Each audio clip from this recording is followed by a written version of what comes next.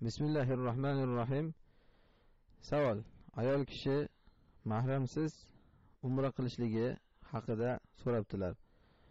Bu qay yurtdan bo'lishidan qat'iy nazar. Mahramsiz safar qilib umra qilishligi. Asli ayol mahramsiz safar qilishligi haromligida hech qanday ixtilof yo'q. Hech qanday ixtilof yo'q. Ayol kishi har qanaqangi safarda mahramsiz qilishi harom. Bundan faqat hijrat istisno qilingan dalillari bo'yicha. Lekin haj va umrada ixtilof bor. Modomiki ixtilof bo'lgandan keyin olloh bizga buyuradiki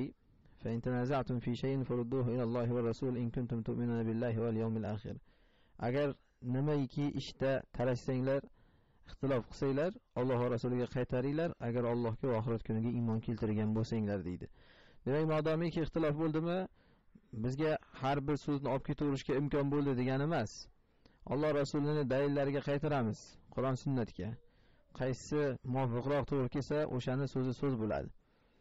Ayol kishi mahramsiz umra yoki haj qilishligini qur'on sunnatda dalillarga qarasak mumkin emas ekanligini topamiz. Birinchidan chunki umra bo'lsin haj bo'lsin u ham safar. Modomki safar bo'lgandan keyin rasululloh undan qaytarganlar. Ikkinchidan haj va umrani vojib bo'lishligining o'zi sharti inson ularga yetishlikka yo'lga qodir bo'lishi. Alloh taolo oyatda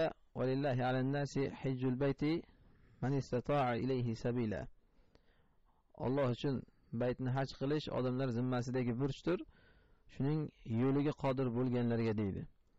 Ya'ni bu yo'lga qodir bo'lganlarga farz umra ham haj ham yo'lga qodir bo'lmaganlarga farz emas. Ayol kishi yo'lga qodir bo'lishligining shartlaridan biri mana shu mahrami bo'lishligi. Keyin yana sahih hadisda kelgan. Ibn abbos roziyallohu anhudan. Bir kishi rasululloh taologa kelgan. Ya rasululloh inni iktutibtu fi g'azvati kaza va kaza va anna imrati kharajat li hajja. Kharajat hajja. Faqala intaliq fa hujja ma imrati bir odam kelib aytganki ya rasululloh men g'azotga yozilgandim. Ya'ni jihodga ketayotgandim. Va xotinim esa umraga hajga ketyapti ekan nima qilay degan ya'ni mahramsiz xotinimni jo'natib yuboraymi umraga hajga deb?